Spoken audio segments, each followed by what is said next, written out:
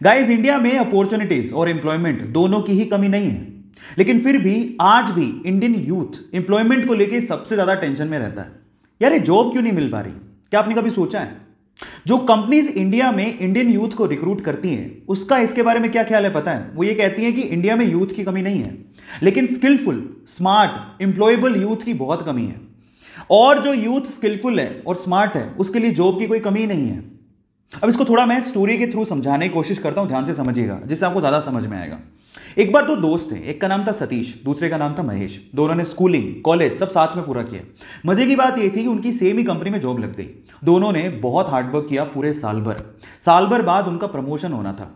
तो जिस दिन प्रमोशन था, उस दिन बोस आए। उन्होंने सतीश को प्रमोशन लेटर देते हुए कहा कि, सतीश, तुम्हारा प्रमोशन होता है। तब महेश ने पूछा कि, सर, मेरा? तो बॉस ने कहा कि, महेश आई एम सॉरी तुम्हें प्रमोशन नहीं मिल पाएगा। इस साल तो कम से कम नहीं मिल पाएगा। वर्क हार्ड तो ऐसा करके बोस अपने कैबिन में चले गए। महेश उदास हो गया। महेश सोचने लगा कि सेम स्कूल से किया सेम कॉलेज से किया, एक साल मैंने भी हार्डवर्क किया है, मेरा प्रमोशन क्यों नहीं हुआ? अब दिमाग पे उस टाइम क्या बातें आती है पता है? भाई, यहाँ तो बटरिंग से ही प्रमोशन होता है। ज़रूर सतीश ने बटरिंग की होगी बोस की। और उसको गुस्सा आ गया। उसने सोचा, मैं कल से नहीं आऊँगा। वो बोस के कैबिन में गया और बोस को बोलता है कि, बोस, अब मैं कल से तो नहीं आऊँगा। आई एम सो सॉरी तो बोस ने कहा कि, क्यों नहीं आओगे? तो वो कहता है कि, बॉस, मैंने बहुत हार्डवर्क किया पूरे साल भर, लेकिन मेरा प्रमोशन नहीं हुआ. अब मुझे ऐसा फील होता है कि इस कंपनी में सिर्फ़ बटरिंग करने वालों का ही प्रमोशन होता है। मतलब वो डायरेक्टली सतीश पे ब्लेम लगा रहा था कि सतीश ने बटरिंग की है। लेकिन बोस तो ये जानता था कि सतीश ने बटरिंग नहीं की है। सतीश ने वाकई में हार्डवर्क किया है वो स्मार्ट है। महेश से स्मार्ट है। अब इस चीज़ को प्रूव कैसे करें? बोस ने लगाया दिमाग, इसलिए तो वो बोस था। उसने दिमाग लगाया। उसने क्या कहा, महेश, एक काम करो, मैं तुम्हें एक टास्क देता हूँ। अगर तुमने वो टास्क कर लिया तो मैं तुम्हें सतीश से ज़्यादा पैसे दूँगा और प्रमोशन भी दूँगा। महेश ने कहा, ठीक है।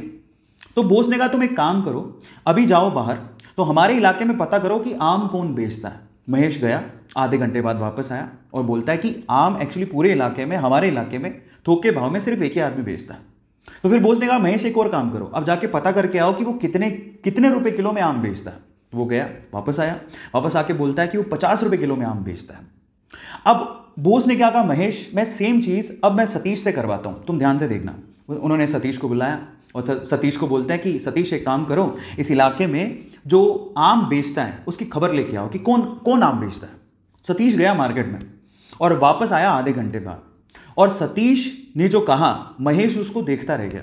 सतीश ने कहा, बोस, यहाँ पे आम सिर्फ़ एक ही आदमी बेचता है और वो पचास रुपए किलो बेचता है। लेकिन उसके पास टोटल साठ से सत्तर किलो आम है और वो एक साथ अगर हम खरीद ले, वो चालीस रुपए किलो में दे देगा। और अगर हमने चालीस रुपए किलो में वो साठ से सत्तर किलो आम बेच दिए और हमने अगर पचास रुपए किलो में से सेल किया तो हमें बहुत प्रॉफिट होगा। और आगे आने वाले समय में हम लोग आम में भी अपना हाथ आजमा सकते हैं, आम के बिज़नेस में भी। अब आप समझिए कि सतीश और महेश में क्या फ़र्क था। आप समझ पा रहे हैं कि स्मार्टनेस और स्किल का क्या मतलब होता है? आज का यूथ क्या है ना, सिर्फ़ इस फिलोसफी में, ज़्यादातर यूथ इसी फिलोसफी में जीता है कि इतने में इतना ही मिलेगा। जब आप ये सोचते हो कि इतने में इतना ही मिलेगा तो प्रमोशन की आस आपने रखी क्यों है? वो बहुत इंपॉर्टेंट है। मैं हमेशा एक बात बोलता हूँ, आप जिस भी कंपनी में काम कर रहे हो, या आप जो भी करना चाह रहे हो, अगर वो आपको सौ रुपए देती है ना तो आप पचास रुपए का काम करके मत दो। आप उसको दो सौ रुपए का काम करके दो। आप उसको अपना आदि बनाओ। जब आप उसको अपना आदि बना लोगे तो आप ज़िंदगी में प्रमोशन के लिए या एम्प्लॉयमेंट के लिए टेंशन में कभी नहीं रहोगे। तो अब आपको समझ में आया होगा कि एक्चुअल में क्या मीनिंग है, क्यों लोग इंप्लॉयमेंट को लेके इतना टेंशन में रहते हैं। सो so गाइस मेरी तरफ़ से मैंने समझाने की कोशिश करी। ऐसी अमेजिंग स्टोरीज के लिए यूट्यूब पे हमारे चैनल को सब्सक्राइब कर लीजिए और अगर आप इंस्टाग्राम पे देख रहे हैं तो मुझे फॉलो करना मत भूलिएगा और इस स्टोरी को लोगों के साथ शेयर ज़रूर करेगा ताकि वो समझें कि यूथ और स्किलफुल यूथ में क्या फ़र्क है। Thank you so much